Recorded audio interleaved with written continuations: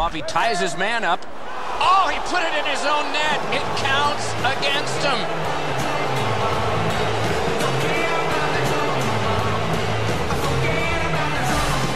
Witt's unsure as well. I mean, the puck just kind of leaked through him. Odd goal.